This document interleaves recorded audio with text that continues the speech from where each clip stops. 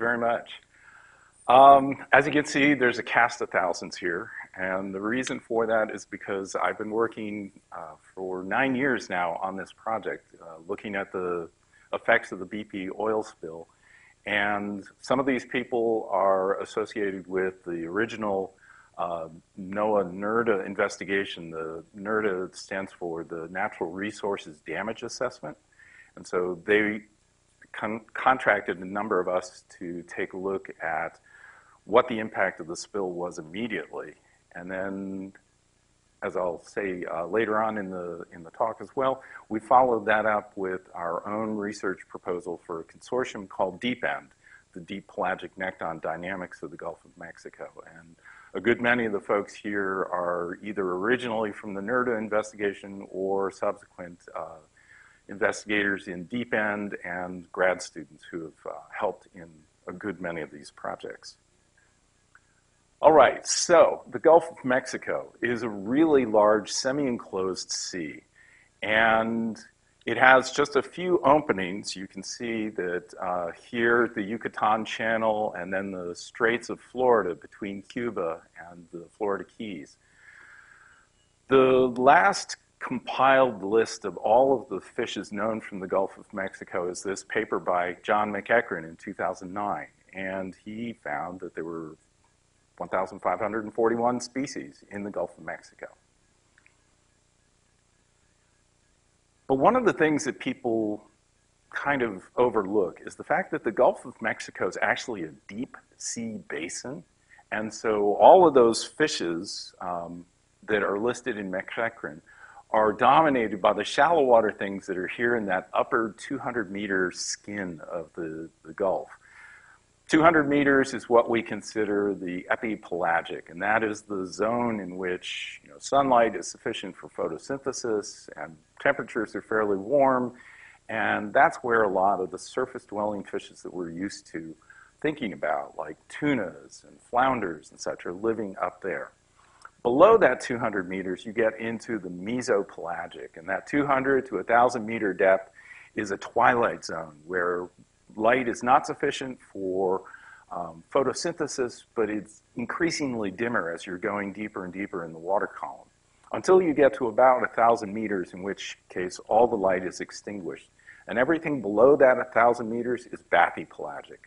And what we're going to talk about today are the things that are in the epipelagic, the mesopelagic, and just a little bit of the upper bathypelagic. So, um, I've been reminded by a number of my students that I need to talk a little bit about the history of BP because for my current students, they were in like fifth or sixth or seventh grade when it actually happened, and they weren't like real news junkies at that time. and so, so what I'm going to do is go through a little bit about the BP oil spill to remind people who were aware of it and to elucidate you know, educate the folks who weren't really paying attention to the news back then. So, Deepwater Horizon is actually the name of this rig right here.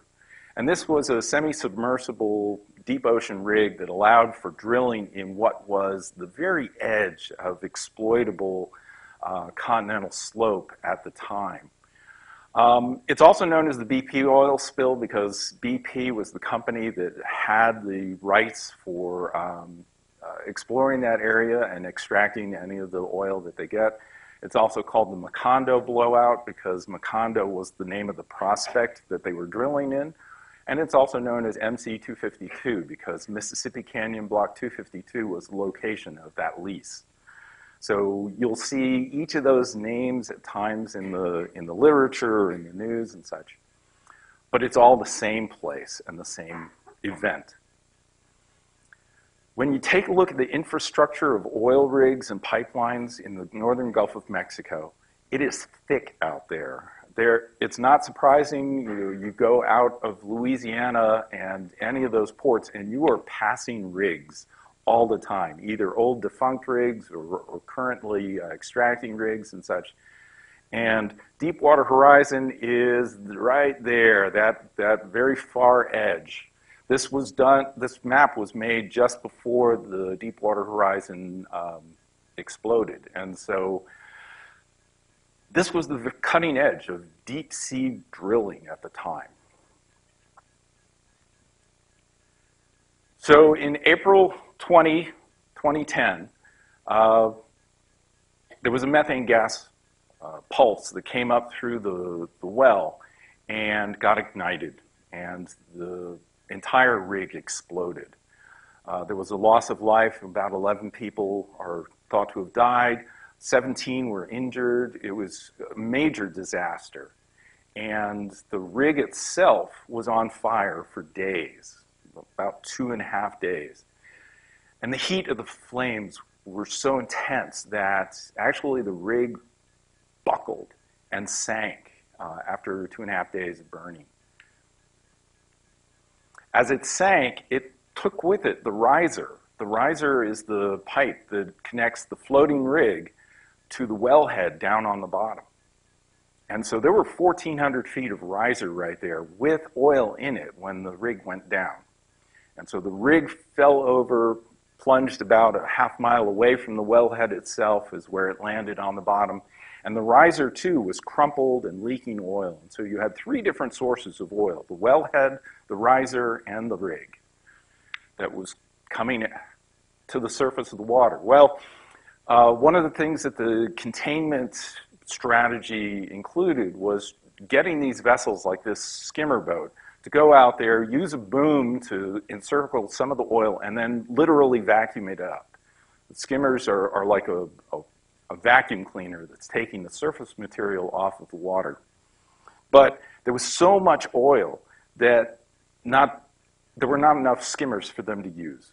So they started doing what were called controlled burns, where vessels that they contracted, and since the oil spill was putting out of work uh, shrimp fishermen and such, they would get shrimpers contracted out to pull booms and collect a bunch of oil and then burn it.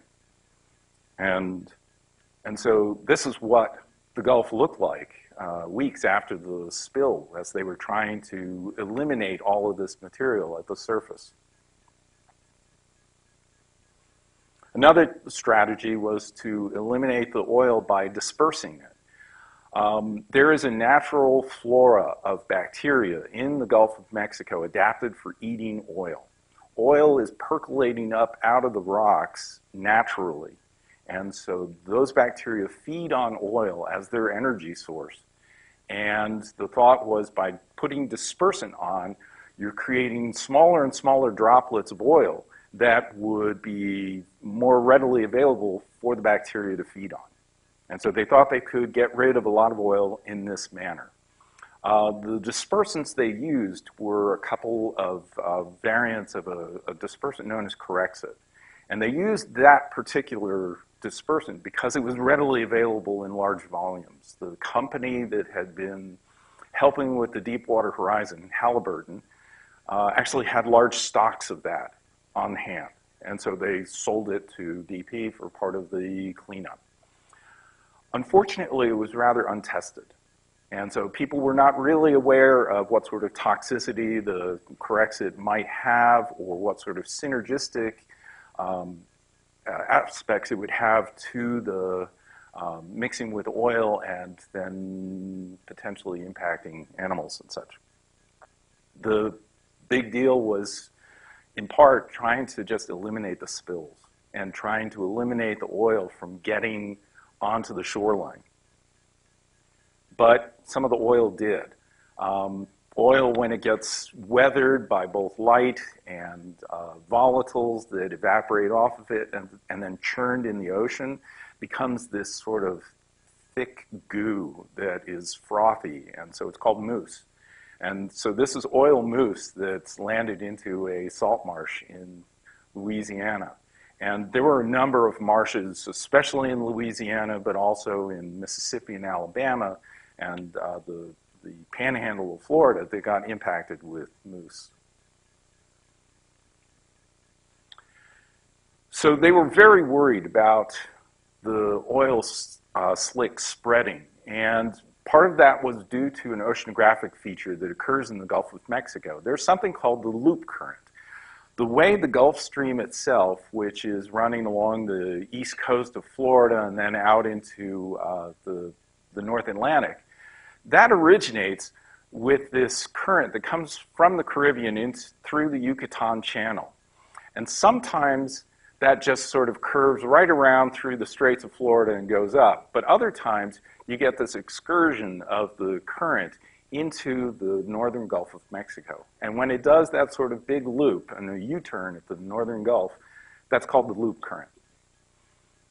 Now, what will happen very frequently is the current itself will pinch off right here and return to just going along the north coast of Cuba. And what you end up with is this spinning eddy right here. And those spinning eddies, they retrograde to the westward. And so some of these warm core eddies here are old eddies that had spun off of the uh, loop current in years prior.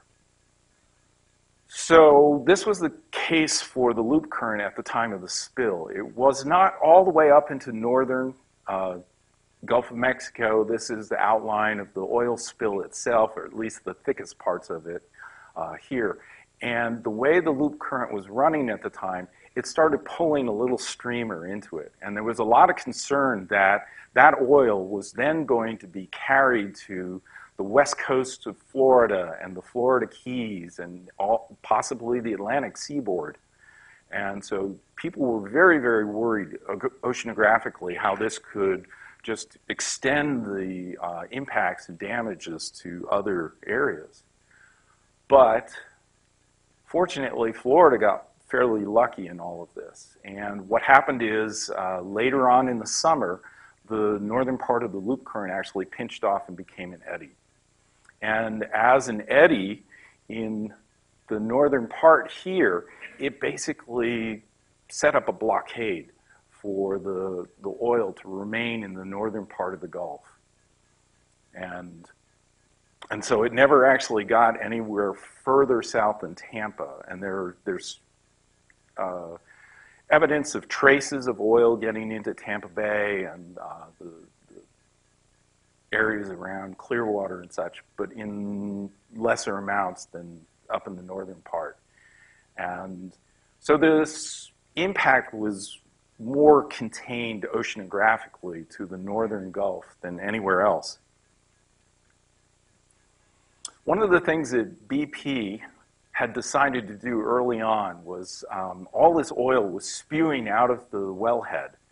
And they thought, well, if we could apply dispersant right at the wellhead, maybe we can make it turn into fine droplets and not actually create a slick at the surface.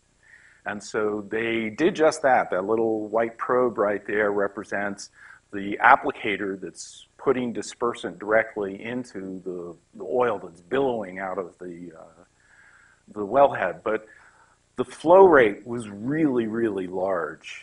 Um, there were a lot of disputes about what the flow rate was, and initially BP was saying, oh, it's like 1,000 to 5,000 gallons a day somebody saw the video of it and could actually track white flecks of material coming through. And when they looked at the distance and the speed and such, they figured out that, oh, actually that wellhead's doing something like 68,000 gallons a day.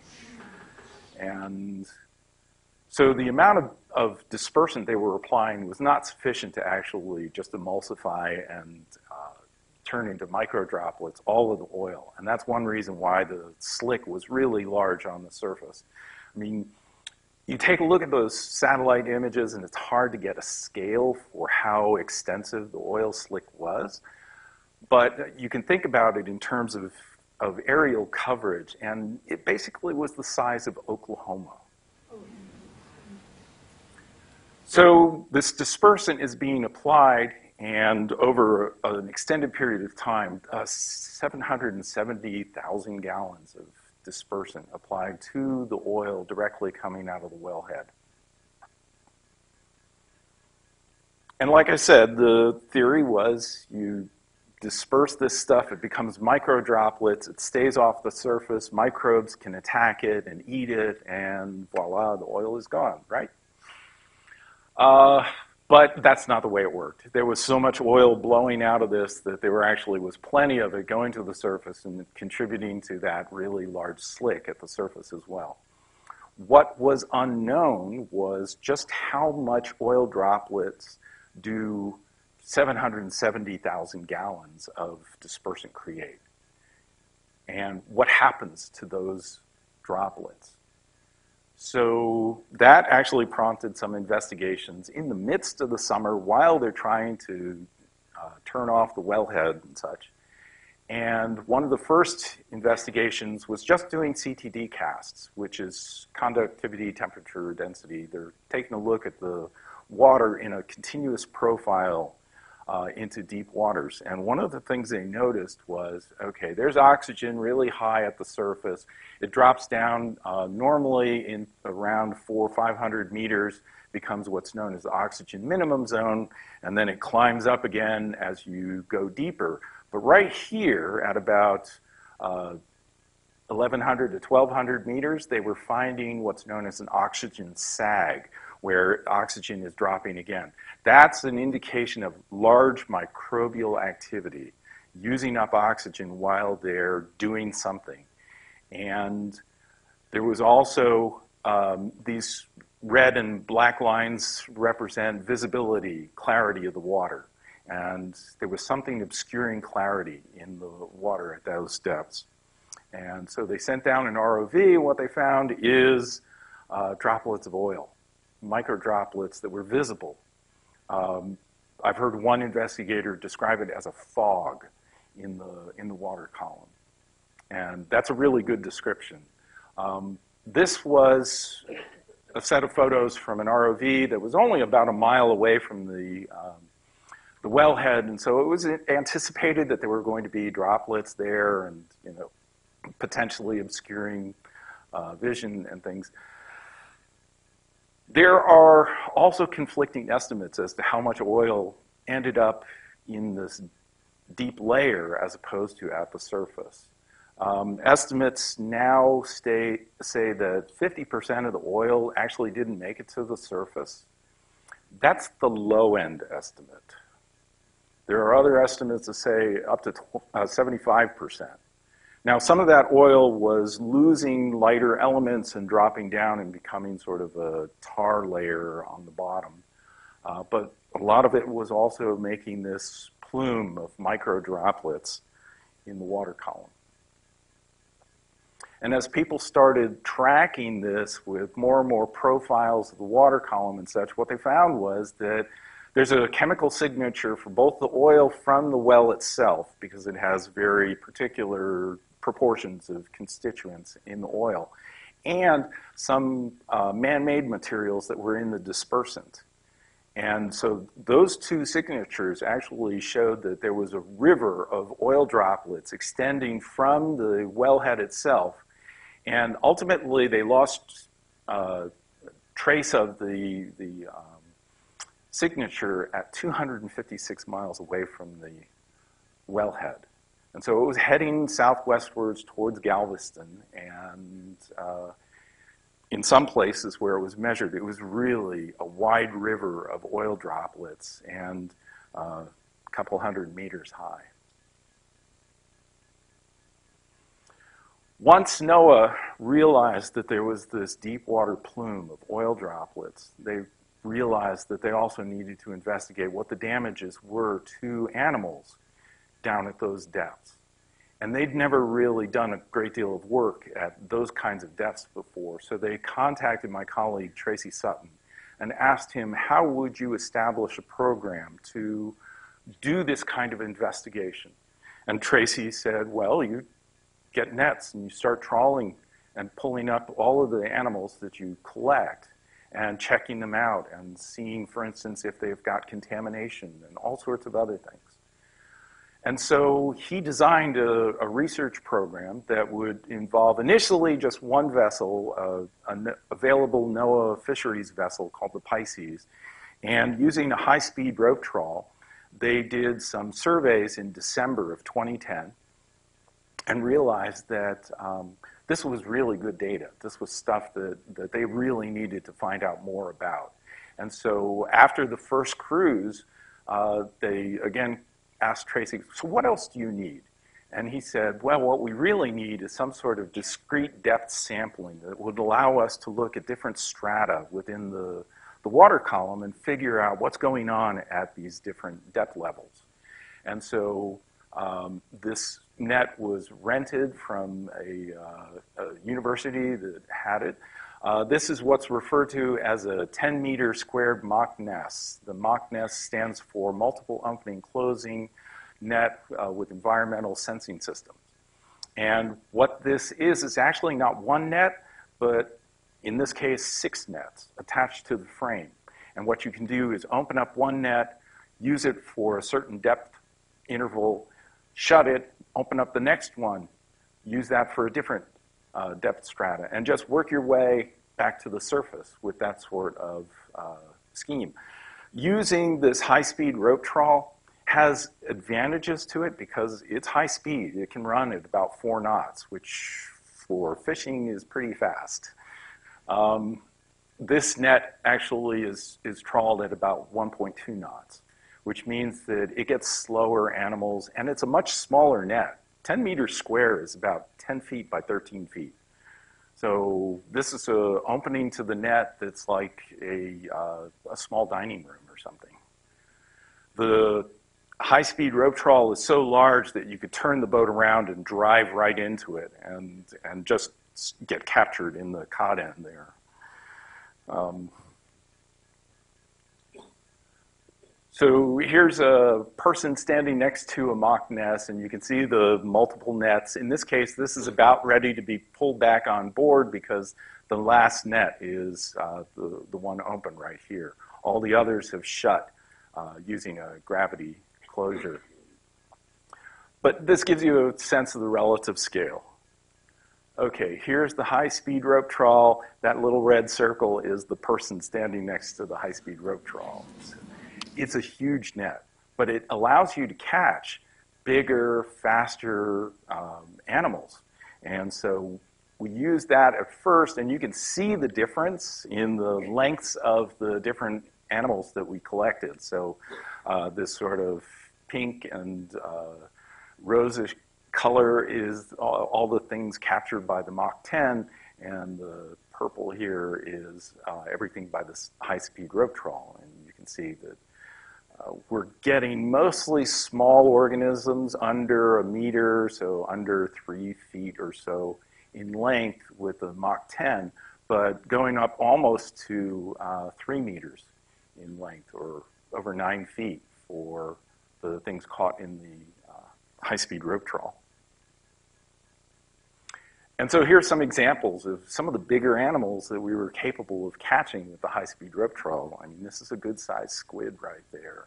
And April here is holding this Alepisaurus, which is a really fun lizard-like fish that uh, uh, is a deep water predator of so many things. We got jellyfish and this is an obscure little ribbon fish.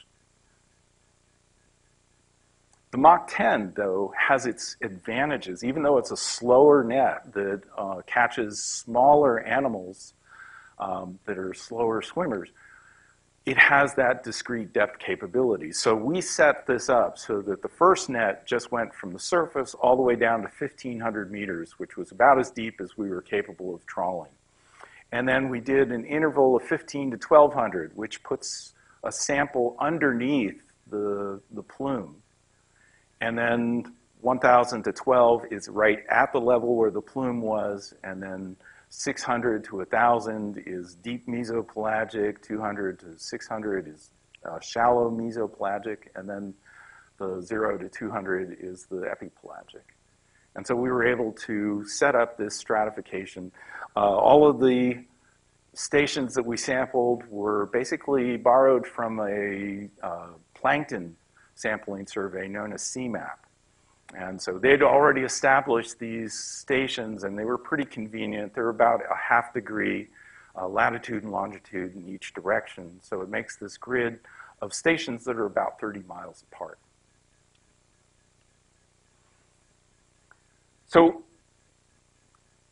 the investigation by NOAA persisted until BP um, acquiesced to pay the fines and such. And once that happened, they basically shut down the natural resources damage assessment.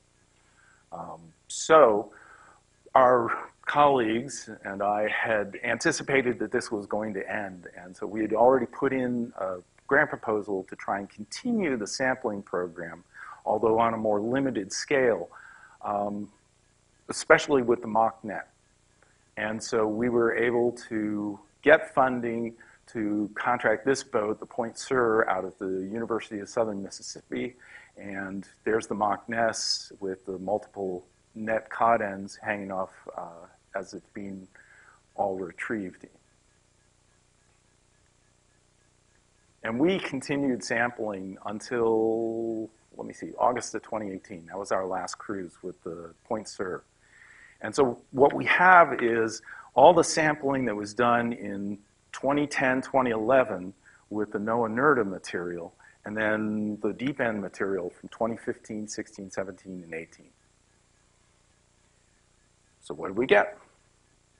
Well, quite an array of fish, squids, in this case an octopus, uh, siphonophore, jellies, crustaceans galore, uh, larval fishes. This happens to be a small uh, flatfish that is uh, just transforming, as well as normal deep sea residents like this duckbill eel.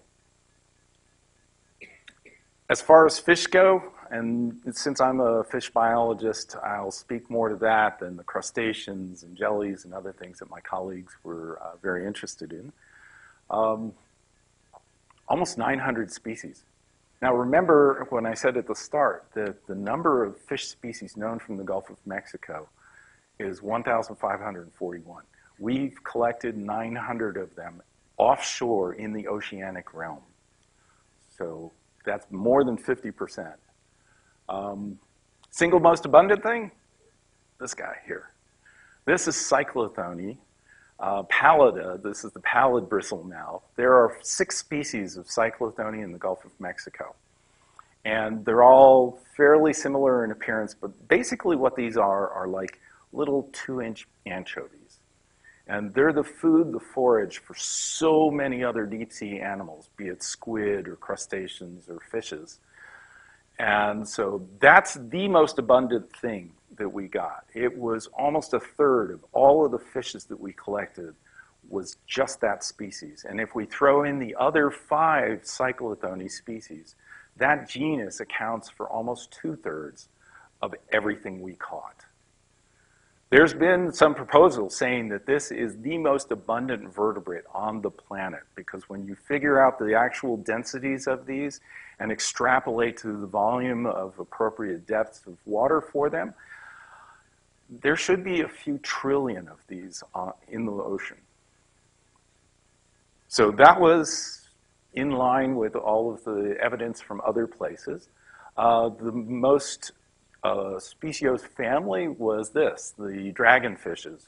Uh, this includes all sorts of things like black dragonfishes, the viper fish, uh, star eaters, and all sorts of interesting names because the common names came from scientists instead of the fishermen. Uh, so globally, there's 287 species. In the Gulf of Mexico, we've recorded 111. So almost half of all the diversity occurs in the Gulf of Mexico. That's pretty startling for one tiny little enclosed uh, sea. In addition, there's some endemics. There are some things that only occur in the Gulf of Mexico. Lanternfishes, too, they're very abundant and uh, fairly common. Uh, 62 species here fortunately, this is Tracey's group of fishes, and so he's the one who has to deal with these uh, these little guys because you know I can look at all those little light organs there and just barely get them to genus level, but he's got the species down. He can sit there and sort them really fast. Since there are so many different species of fishes, Tracey and I have basically taken the fishes and divvied them up And so he works on certain groups, and I work on other groups, and never the twain shall meet. Ceratioid anglerfishes. These are more bathypelagic, so these are from the deeper trawls below uh, typically 1,000 meters, and 61 species, 37 new records for the Gulf of Mexico, and Tracey's identified four that appear to be new species. So, out of the nearly 900 species, 186 are new records. These are things that we knew of from elsewhere in the, the oceans of the world, but first time ever caught in the Gulf of Mexico, which means that that 1,541 species is now bumped up to something like 1,700 plus species. And the groups that have uh, the most new records, the angler fishes, the black dragon fishes, and eels. Um, that was one of the groups that I worked on. And so I, have uh, become an expert on leptocephali, eel larvae, because that's what you get in the MOCNESS. You don't get the full-grown adult eels and all you know, wiggly and big. No, you get things that look like pad thai noodles. And you have to figure out what they are on the basis of uh, vertebral counts and all sorts of other things. So looking at the different fish orders that are out there, these four orders are fairly well known as speciose deep sea groups uh, in oceans around the world. And so it's not surprising they rank pretty highly in the Gulf of Mexico as well.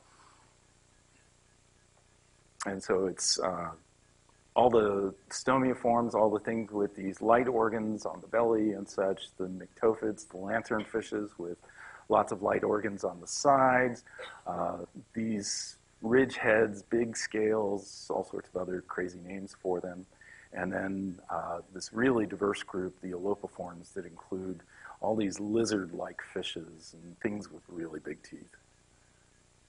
What was surprising is there were some groups that ranked really highly in our catches as well. Perciforms are the more advanced perch-like fishes, and frequently you think of those as the um, near-shore coastal fishes. And in many cases, they were. Uh, the leptocephali, the eel larvae, they ranked really, really highly, and then flounders, all of the flatfishes and such. Um, Again, larvae in this case, you can see that there's only one eye on this side. Flatfishes go through a really unique transformation of the, uh, the post-larvae to juveniles, where basically the, the front of the head twists and brings the other eye over to one side.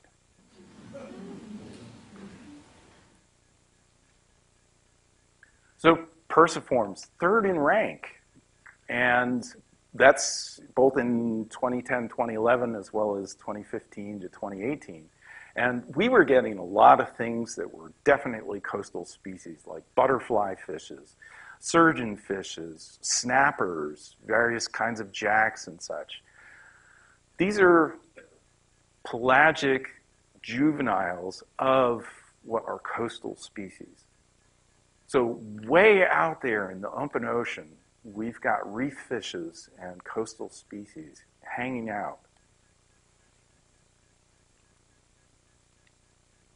And then the eels, where, you know, 116 species identified so far. Only seven of those species are actually deep water pelagic things. The other, you know, what, 109 species are coastal or bottom species. And some of them are deep sea bottom species. Um, but a lot of diversity out there. And I'm working on a paper with this title, Hiding in Plain Sight, because they're collected commonly, but people don't actually take the effort to try and identify what they've collected. And so they're overlooking a whole swath of diversity that they would otherwise know. Um, at 116 species, we're talking about more than 10% of the overall diversity. And if you just lump those all in as leptocephali and ignore trying to figure out what they are, you're losing more than 10% of the diversity of your site. So one of the things that we're finding is that the Gulf of Mexico, even though you've got all this open, deep water off the continental shelves, there's like a pool or reserve of coastal and reef fishes associated with that deep ocean water. And we found that a number of the species had pelagic juveniles that could persist for a fairly long time, apparently, in the, uh, in the deep waters, waiting for ocean currents to bring them back towards the continental shelf, where they could truly settle out and become uh, viable adults and such. This right here, this is a squirrelfish, but they've got this completely different pelagic coloration of silvery with a blue back out in the open waters compared to the reefs where there are nocturnal red colored fish. And so this, this is an adaptation for these guys to be able to persist for a very long time uh, out in the open waters. You take a look at the literature on uh, larval reef fishes and such, and they've always figured, oh, the stuff that's offshore, that's gone. It's dead. It's going to die. But this is not actually demonstrating that necessarily. They could persist for months, which means that currents could potentially bring them back into proximity, like the, the Florida Keys and such and deliver them to an appropriate habitat for them to settle out and colonize. Another project that the, we were doing was taking tissue samples for uh, genetic barcoding. And so a number of the people on that first list of, uh, of co-authors are the geneticists who are doing this. Now, what this required and what makes the DEEPEND project a little different is Tracey and I are always out on the cruises, and we're identifying all the fishes that we can. And so that means that we've got you know, competent taxonomists who can ID this stuff hopefully correctly, and then give it to the geneticist who can then turn around and sequence it and compare it to sequences that are already in GenBank and BOLD and some of the other databases where uh, these genetic sequences are held. And they come back to us and say, well, you know, you're doing pretty good. You got, you know, 75% right. Sometimes it's a matter of, oh, it's this other closely related species. I miscounted this or that. Uh, sometimes it's like, no, I, I, I've done this correctly, and according to the key, this is supposed to be this. And uh, so we've actually discovered a number of cryptic species this way. And so there are some species that are indistinguishable from known species morphologically, but genetically, the geneticists are saying, well, you know, they've got like 5% or more difference on the CO1 gene, which means that these are likely different species. So we're working on that. That'll be an interesting element to uh, this as well. Also, the barcoding project has helped in a, a one problem with the leptocephali in particular. The transformation between a leptocephalus eel larvae and an adult eel is almost like the transformation between a tadpole and a frog. And it's really hard to put those two together. Frequently, what you have to do is raise the leptocephalus in captivity, which is not possible with some of these deep sea things. So, how do you figure out what species that leptocephalus belongs to? There's a number of them that are just sort of given placeholder names right now because we don't know what they belong to. And so Facciolella, a species C, actually turns out to be a species of Facciolella we know of already. But it's a bit of a surprise. I have to work on that paper. Um, so this genetic barcoding is actually helping us a great deal in identifying a whole bunch of mysteries amongst the larval fishes that we didn't know what they were truly. I mean, we could identify them maybe to genus, but not to species. Now the barcoding can give us what species it, it's related to, or it is. Uh, we have potentially at least 20 new species. If we start adding the cryptic uh, genetic species in there, it's probably more like 25 to 30. So we've got a lot of work to do on that as well. So one result of all of our work is that over half of all of the fishes in the Gulf of Mexico spend at least some part of their time out in open oceanic waters, far away from the, the continental shelf. And that includes reef fishes and bottom fishes like flounders and such. Another thing that's going on that we were investigating is that in the oceans, you don't see it, but the world's largest migration occurs every day. And that's because there's a number of fishes that, and shrimp and squid and such, that live in this mesopelagic layer, typically in that 400 to 600 meter interval, during the day. And then when you get to dusk, they start migrating up to the surface and they feed at the surface at night. And then when dawn approaches, they move back down into deeper waters.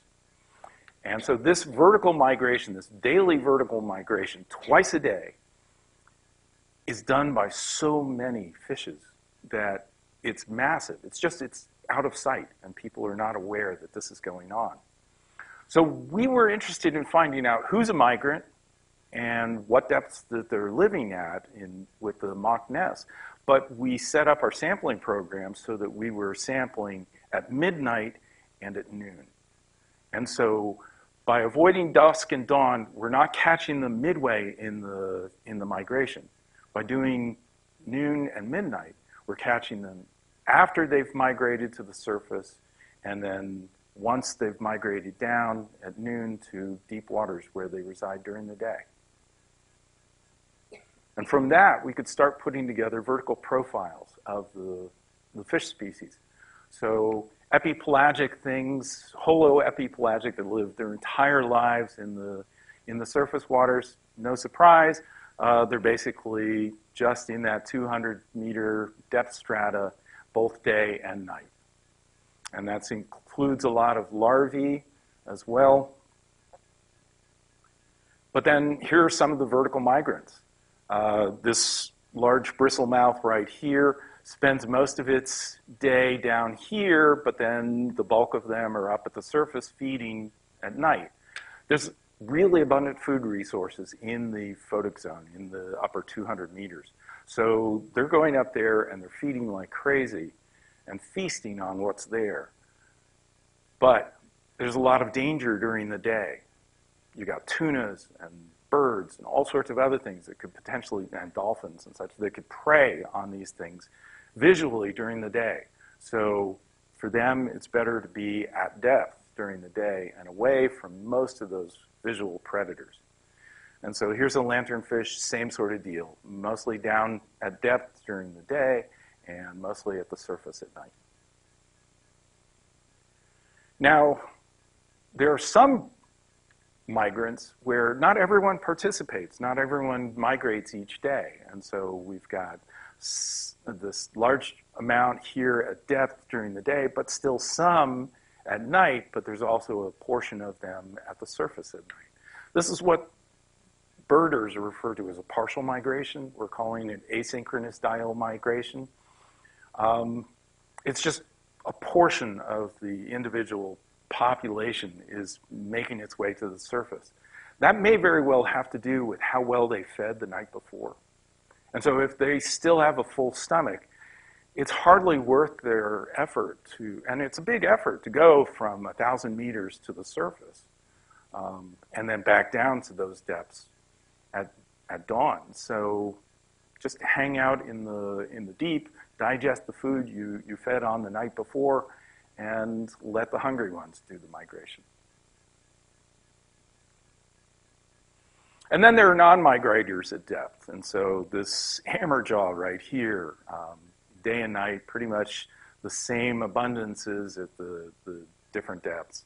Same goes for this uh, hatchetfish. So what does all this mean? Well, the Gulf of Mexico now turns out to be one of four hyperdiverse oceanic areas around the world. And so these four places represent unusually high diversity of organisms, deep sea as well as shallow water, in, in these different regions. And the diversity that we're seeing in the Gulf of Mexico is, is pretty extraordinary. Um, I remember first calling this thing right there the funky purple thing. Turns out it's a larval shrimp, but uh, doesn't look like shrimp to me. Not at, the, at that stage. So, oh, some of the other conclusions we can grab from all of this is that the pelagic habitat of the Gulf is integral to the entire ecosystem. You've got you know, reef fishes out in the open ocean, shallow waters. You've got connectivity that's going horizontally. Uh, you've got vertical migration, so connectivity that's going vertically as well. And that vertical nature is being exploited by some other larger predators. So here's big eye tuna that was uh, uh, had a pop-up satellite tag attached to it. The tag allows uh, you know, readings of water pressure and such, and so it can basically tell you what depth that fish was at. And it's doing a vertical migration itself, chasing the food down deep during the day and then back up towards the surface at night. And it's just sort of going back and forth. A lot of tunas and swordfish and other you know, commercial fisheries do this sort of thing, at least into the upper part of the mesopelagic. So again, that connectivity, the things we eat are feeding on some of these deep sea animals that a lot of folks are not necessarily aware of. Okay, remember that map of all of the infrastructure in 2009? That one dark dot right there, that's Deepwater Horizon. Oil exploration has now gone out beyond Deepwater Horizon. Deepwater Horizon was the deepest of what they call deepwater rigs. Now, there's a whole new category known as ultra deepwater rigs that are drilling for oil in 10,000 feet of water. And the more they're doing this, the greater the chance that we may have another accident at some point in the future. So because of this work that we've done with ONSAP and, and we now have a much fuller quantitative faunal inventory. We, the MOCNESS nets actually had uh, flow meters on them that allowed us to tell how much water we actually filtered all those animals out of. And so we can actually work out estimated densities of these animals in the entire basin. Um, we have distribution maps, we have time series with uh, 2010, 2011, and then 2015, 16, 17, 18. Uh, we're, we've got a better understanding of migrations. And so if another spill occurs, we now have baseline information that can be used to compare against what impacts a new spill may have. That has been one of the big problems with our assessment of the Deepwater Horizon impact. There was virtually no quantitative information prior to the spill. And what we see is 2011, we get large abundances of individuals. By 2015 and afterwards, we're not. We're seeing reductions of 50 to 75% abundance. What we don't know, because we don't have the pre-spill data, is whether 2011 was a bumper year, and so everyone was doing really great, and we sampled just at a time when there was huge abundances, or whether things have declined since then.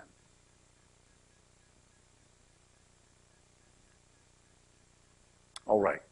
So I have a lot of folks to thank. Uh, the Gulf of Mexico Research Initiative was the main funding agency for DEEPEND. Uh, NOAA Office of Response and Restoration was the funding agency for the NRDA investigation. Various ship crews. Uh, LUMCON provides us with the crew for the Point Sur. The University of Southern Mississippi provides the Point Sur ship itself.